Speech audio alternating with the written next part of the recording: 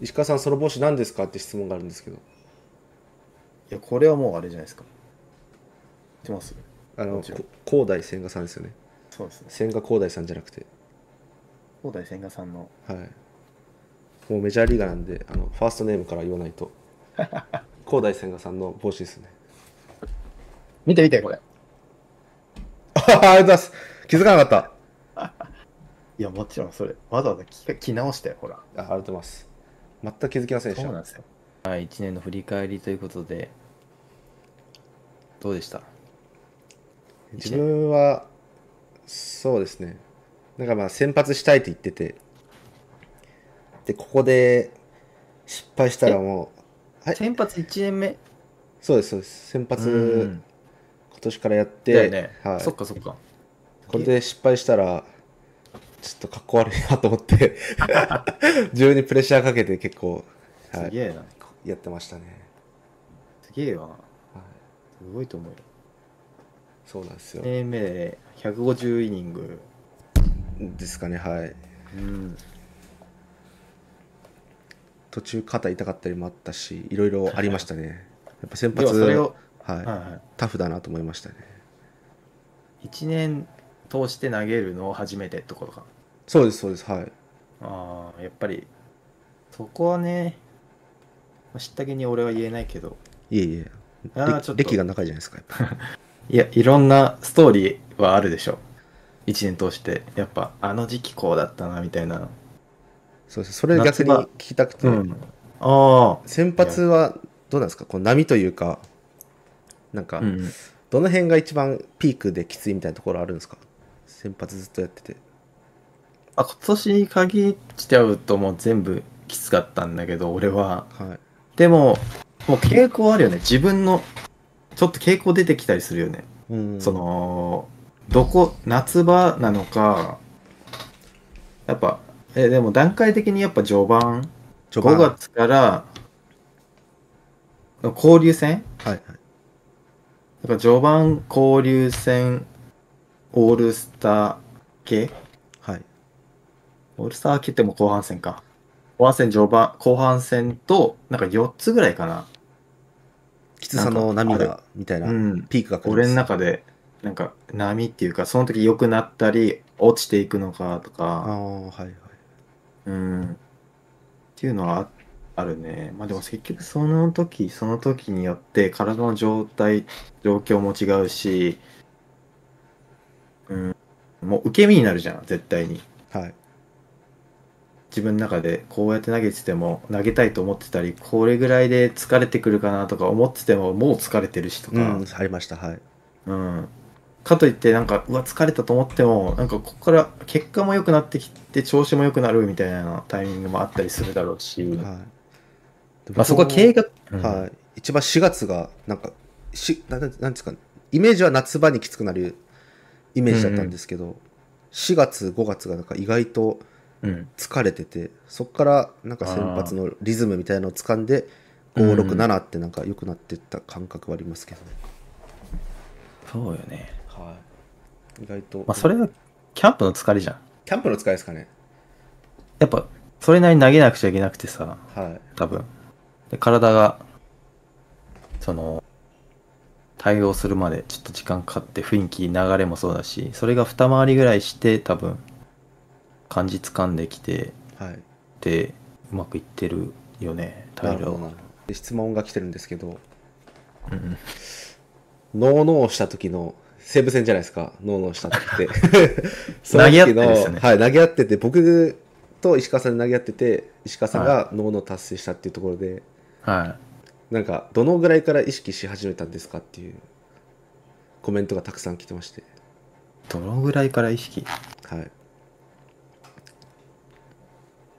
い。いやどうなんだろう。なんかいろんなインタビューでも言ってたけどはい。結局うーんえ結局三振取ってないからそんな。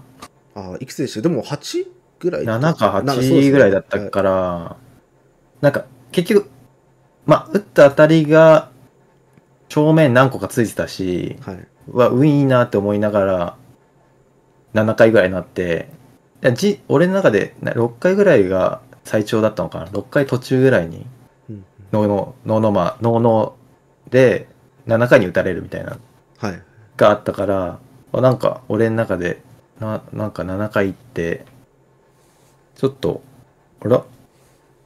まだヒット出ないのかなって思って投げてたら、いつもとは違うみたいな感じで。そしたらもう結局打たれたハードゴロとか結構際どいのとか言ってて確かクリとかがちゃんとパパンってさばいてくれてたりしてたし、ありました。もう本当になんか気づいたら終わってたね気づいたら終わってたって感じですか？そうだね。僕は逆にあの時7失点したんでなんでこんなハマってるんだろうみたいな感じですね僕からしたら7点ってこと？はい7失点したので。いやいやもうでもあれはもう本当に打球あれじゃん。打球速度全然出てなかったよ。まあそうですね。だ出てなかったってもありました。からいやもう本当に運悪いなって見ながら。だってフォークほとんど拾われてたし拾われてっていうかそれもちょーんってセンター前とかめっちゃあったよ、い。めっちゃビビるぐらいあったよ。ありましたね。すげえうわ運悪いなって思いながら。でもさどうなんだろう。今年高めめっちゃ使ってたじゃん。やはい。まっすぐ意図してね。はい。っぱ高めはやっぱ意識して使った方がいいなって思いながらまあ自分のあれか球速もあるけどさ。はい。それなんかどうだった？実際。投げた感じ。はでもストレートの空振りっていう面で見るとやっぱりなんていうんですかねパ・リーグでは、うん、まあ、高いブリードあそうだるので、ね。そうだねなんていうんですかね。えぐいもんね。高めに投げてるからこそのうん。なんかその成果が出てるのかなっていう感覚ですね、うん。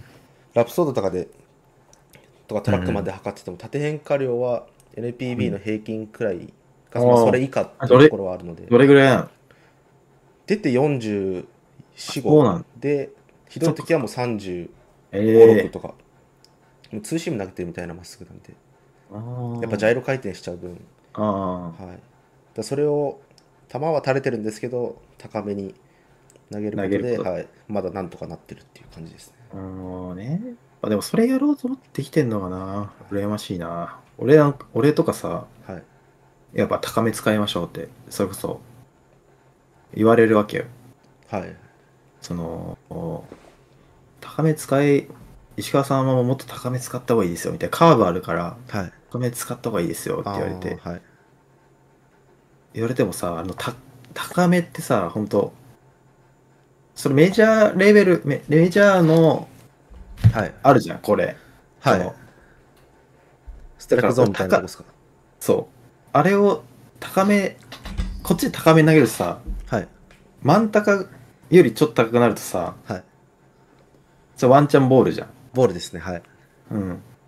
だからじゃあそこって高めじゃないじゃん。はい。日本で言えば。はい真ん中やん。ホームランゾーンみたいな。はい。だからそこのそこ難かったなって俺の9位だと。高めのでなんかちょっと外野まで運ばれちゃうかもしれないみたいな。ところよりちょい上が欲しいわけじゃはいはいはい。んそこだと振らなかったりするしあボールになるらからじゃあケアしないよねってなってはいはい。これが難しかったなそうですね。高めに投げすぎても見逃されてカウント悪くするし、でちょっと取りに行って真ん中入ると危険な球っていう難しさみたいな、リスクがあるよね、はいはい。確かにそれは。で僕も真ん中入ってホームラン打たれたのも今年やっぱありましたね、はい、あった？ありましたありました。引っ掛けて引っ掛けて？そうです。低めに引っ掛けて。うん。あなんか見結構な見見てたか見たかもしれないそういうの